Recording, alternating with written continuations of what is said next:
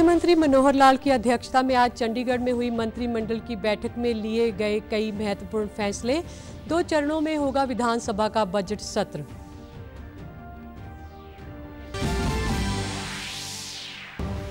अब प्रदेश के सोनीपत में होगा वंदे भारत ट्रेन का निर्माण। मुख्यमंत्री मनोहर लाल ने प्रधानमंत्री नरेंद्र मोदी और केंद्रीय रेल मंत्री अश्विनी वैष्णव का जताया आभार।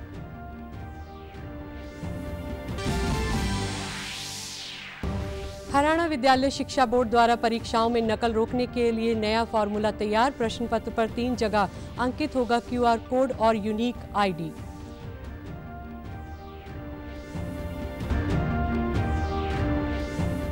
और उपराष्ट्रपति जगदीप धनखड़ फरीदाबाद में कल से शुरू हो रहे 36वें अंतर्राष्ट्रीय सूरज कुंड मेले का करेंगे शुभारंभ। पूर्वोत्तर के आठ राज्य होंगे थीम स्टेट।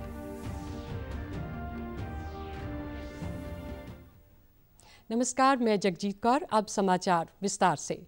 मुख्यमंत्री मनोहर लाल की अध्यक्षता में आज चंडीगढ़ में हुई मंत्रिमंडल की बैठक में कई महत्वपूर्ण फैसले लिए गए। बैठक के बाद मुख्यमंत्री मनोहर लाल ने पत्रकार वार्ता में बताया कि 20 फरवरी से होने वाला विधानसभा का बजट सत्र दो चरणों में होगा। पहला चरण 20 से 23 फरवरी वहीं दूसरा चरण 16 से 21 मार्च तक चलेगा। मुख्यमंत्री ने कहा कि प्रदेश सरकार एक ब्लॉक, एक उत्पाद योजना चला रही है और हम राज्य में यूनिटी मॉल्स खोलने के लिए केंद्रीय बजट का पूरा लाभ उठाएँगे।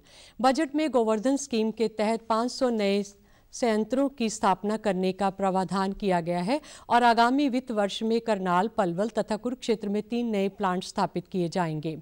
उन्होंने कहा कि प्रदेश की आर्थिक स्थिति अच्छी है और पिछले आठ वर्षों में प्रति व्यक्ति आय दुगनी हुई है।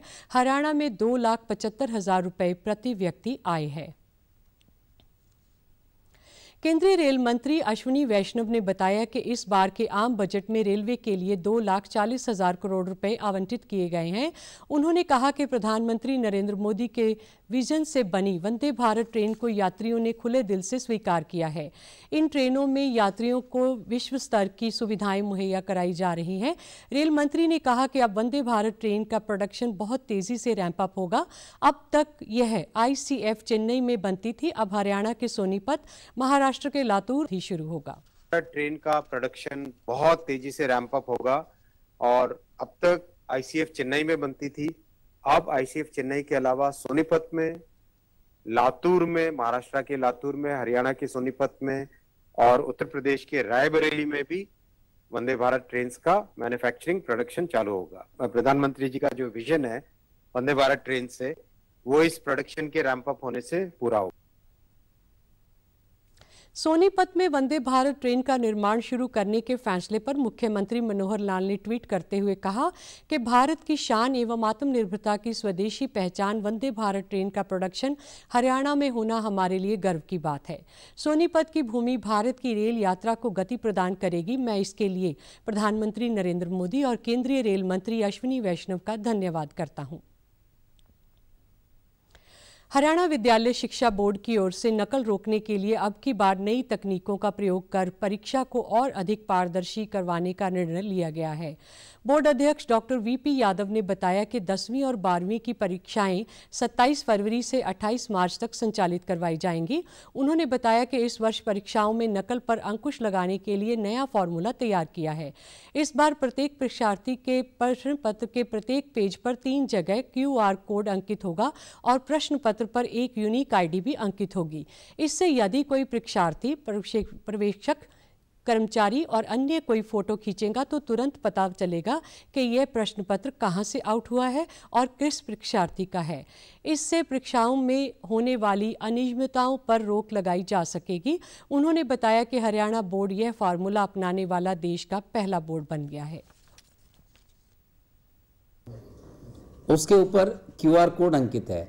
क्यूआर कोड अगर मान लीजिए आठ पेज का क्वेश्चन पेपर है तो हर पेज में तीन जगह क्यूआर कोड होगा, यानी 24 जगह पूरे क्वेश्चन पेपर पर वही एक यूनिक क्यूआर कोड होगा। और वो क्यूआर कोड उस बच्चे के लिए यूनिक है। अगर कोई उसकी फ़ोटो खींचकर उसको वायरल करने की कोशिश करेगा तो तुरंत बोर्ड को इसके बारे में पता लग जाएगा। फिर क्वेश्चन पेपर्स पहले एक इकट्ठे बंडल में खुला करते। अब 24-24 के हमने पैकेट बनाए हैं, जो सील्ड पैकेट होंगे और इन्विजिलेटर को दिए जाएँगे। वहीं जाकर एग्जामिनेशन रूम में क्वेश्चन पेपर्स के पैकेट खुलेंगे। दो बच्चों के उस पर सिग्नेचर होंगे। पहले दिखाया जाएगा कि ये सील्ड है और सबके सामने खोला जाएगा। दो विद्यार्थियों, परीक्षार्थियों के उस पर सिग्नेचर लिए जाएँगे और उसके बाद ही क्वेश्चन पेपर खुलेगा। बोर्ड अध्यक्ष डॉक्टर वीपी यादव ने यह भी बताया कि प्रदेश के बानवे निजी स्कूलों को गलत एसएलसी के आधार पर बोर्ड की परीक्षाएँ दिलवाने के मामले में नोटिस जारी किया है। इन स्कूलों के एक सौ उनतीस विद्यार्थियों ने हरियाणा से बाहर के स्कूलों में फर्जी प्रमाण पत्र के आधार पर परीक्षा दी थी। उन्होंने कहा कि इस मामले की पूरी जाँच विजिलेंस और सीआईडी को सौंप दी गई है। एक सौ चौबीस, उनतीस कैंडिडेट्स हैं टोटल वन ट्वेंटी नाइन। वो जाँच के बाद जो विजिलेंस की रिपोर्ट आएगी, उसके बाद जो भी कानूनी दायरे में कार्रवाई बन पड़ती है, वो हम करेंगे। जो सर्टिफिकेट की जाँच करना, उसका वेरिफिकेशन करना, ये नियमों के अंदर विद्यालय का कार्य है। उसके बाद ही वो एडमिशन देंगे। तो अगर इसके अंदर तहत अगर नहीं जाँच किए वेरिफिकेशन नहीं करवाया है तो इसके लिए विद्यालय दोषी है। फरीदाबाद के सूरजकुंड में कल से शुरू होने वाले 36वें अंतर्राष्ट्रीय सूरजकुंड मेले की तैयारियाँ पूरी हो चुकी हैं। उपराष्ट्रपति जगदीप धनखड़ इस शिल्प मेले का शुभारंभ करेंगे। मेले के अतिरिक्त नोडल अधिकारी ने बताया कि मेले की चौपाल में 1000 दर्शकों के बैठने की व्यवस्था की गई है।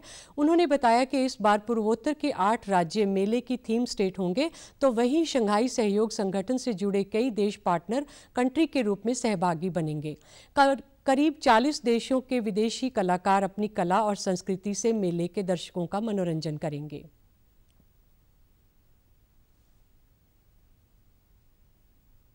करके ना काफ़ी इसकी रूपरेखा तैयार करी है जैसा कि ज्ञात है आप सबको कि एस कंट्री यहाँ पे पार्टनर नेशन है इस बार हमारे साथ। और नॉर्थ ईस्ट रीजन के सभी आठों स्टेट इस बार पार्टिसिपेट कर रहे हैं तो ये वैसे ही अपने आप में एक देखने के लिए लायक मतलब बनाया जा रहा है। उम्मीद लगाई जाएगी काफ़ी फुटफॉल बढ़ेगा इस बार भी।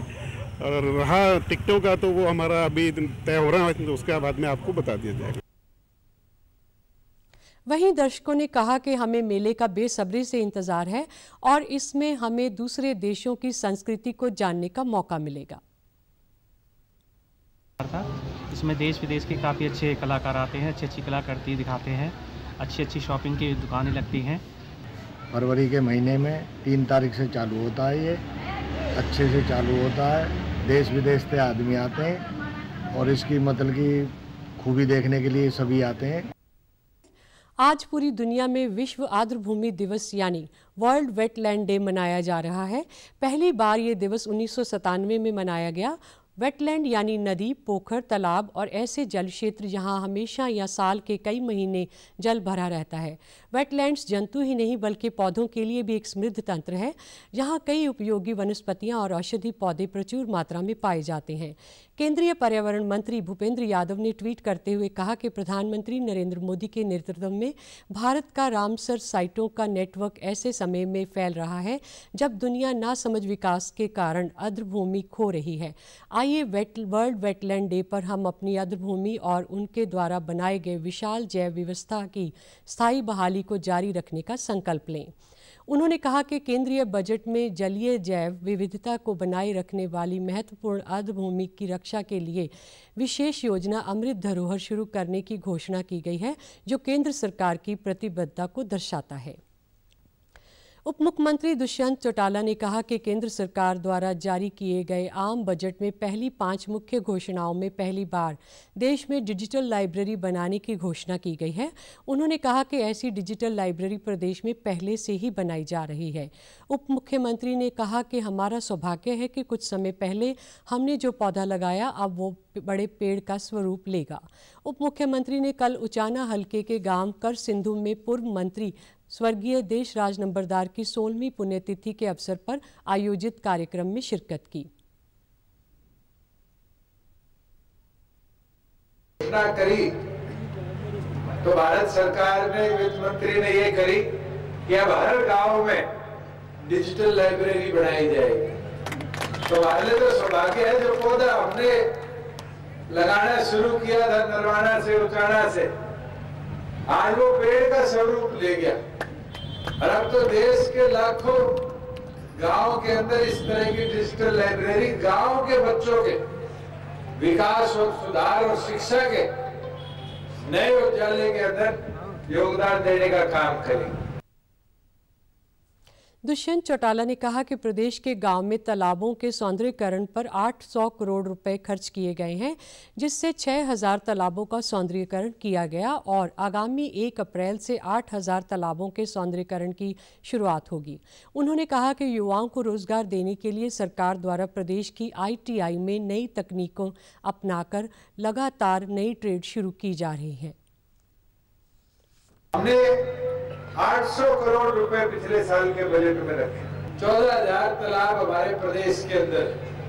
छह हज़ार पहले साल में थे, आठ हज़ार एक अप्रैल से खुदाई शुरू हो जाएगी। आपके सभी प्रदेश के चौदह हज़ार कुछ तालाबों का सौंदर्यकरण भी हो। आईटीआई हमारे उचाना के परली और है, खुर्द में। और उसका लाभ मिल रहा है। आपने होंडा से तीस लाख रुपए लगा के ट्रेड शुरू कराया मोटरसाइकिल रिपेयर का। महिला एवं बाल विकास राज्य मंत्री कमलेश ढांडा ने प्रदेश के महिला आश्रमों के संबंध में अधिकारियों के साथ समीक्षा बैठक की। प्रदेश में स्थापित किए जाने वाले तीन महिला आश्रमों को लेकर राज्य मंत्री कमलेश ढांडा ने कहा कि इन आश्रमों की जगह चिन्हित करने से लेकर उनके निर्माण संबंधी सभी प्रक्रिया में तेज़ी लाई जाए। विभाग के अधिकारियों ने बताया कि महिला आश्रम रेवाड़ी की ज़मीन के लिए सात करोड़ चौहत्तर लाख रुपए, सिरसा की ज़मीन के लिए पाँच करोड़ छियासठ लाख रुपए के लिए हरियाणा शहरी विकास अधिकार, प्राधिकरण द्वारा प्रस्ताव तैयार किया जा चुका है। वहीं महिला आश्रम नारनौल की जगह के लिए विभाग की संयुक्त कमेटी द्वारा दौरा कर चुकी है। महिला एवं बाल विकास मंत्री ने कहा कि विषम परिस्थितियों का सामना कर रही महिलाओं को अस्थायी तौर पर आश्रम प्रदान करना हमारी ज़िम्मेदारी है। उन्होंने कहा कि हमें मिलकर जीवन के कठिन दौर से गुजर रही महिलाओं को धैर्य के साथ सामना करने की मदद, सुविधा और सक्षम बनाना है। मुख्य सचिव संजीव कौशल ने गृह, स्वास्थ्य, महिला एवं बाल विकास विभाग और शिक्षा विभाग के अधिकारियों की समीक्षा बैठक की अध्यक्षता की। उन्होंने अधिकारियों को निर्देश दिए कि राज्य व केंद्र सरकार द्वारा एक समान उद्देश्य के लिए चलाई जा रही योजनाओं को एकीकृत करने के लिए मास्टर प्लान तैयार किया जाए ताकि प्रत्येक पात्र लाभार्थी को जन कल्याणकारी योजनाओं का लाभ मिल सके। उन्होंने बताया कि आयुष्मान भारत प्रधानमंत्री जन आरोग्य योजना के तहत दावों के निपटान में हरियाणा अन्य राज्यों से आगे है। हरियाणा में इस योजना के तहत मरीजों को बिना किसी परेशानी के मुफ़्त इलाज मिल रहा है। मुख्य सचिव ने निरोगी हरियाणा स्वास्थ्य योजना में स्वास्थ्य विभाग के साथ शिक्षा विभाग के सहयोग की सूक्ष्मताओं की भी समीक्षा की। उन्होंने कहा कि निरोगी हरियाणा स्वास्थ्य योजना के माध्यम से छब्बीस दशमलव छः चार लाख परिवार और एक दशमलव शून्य छः करोड़ के से अधिक व्यक्ति इस योजना के अंतर्गत कवर हो रहे हैं। समाचारों में आज इतना ही। नमस्कार।